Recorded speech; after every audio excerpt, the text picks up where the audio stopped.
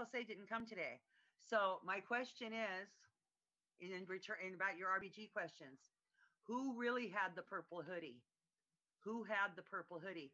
Because I know you and Jose Trujillo did not have the same purple hoodie.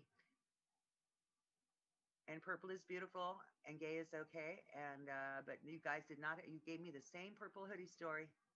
Enrique Torres, have